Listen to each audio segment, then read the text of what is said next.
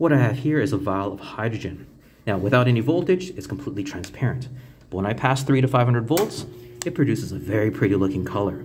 Now, this looks like one color to us, but in truth, this is made up of three to four different colors. To be able to see that, we need this gizmo over here called a diffraction grating. Let me show you how this works. Up here up above, we have a fluorescent light. It looks white to us, but if I place this filter on top of the camera and I look at it again, if I look to the left and if I look to the right, I'll see the colors that make up this white light here, all right? So fluorescent light is actually comprised of these bands of colors. Now let's go back to this tube over here of hydrogen. Again, it may seem like just one color to us, but if you look to the left, you can see the bands that make it up. Here, here, and over here. There's actually a fourth one, but so close that we can't really see that one. And there's an exact photocopy on the other side as well. Take that for augmented reality. Pretty neat, eh?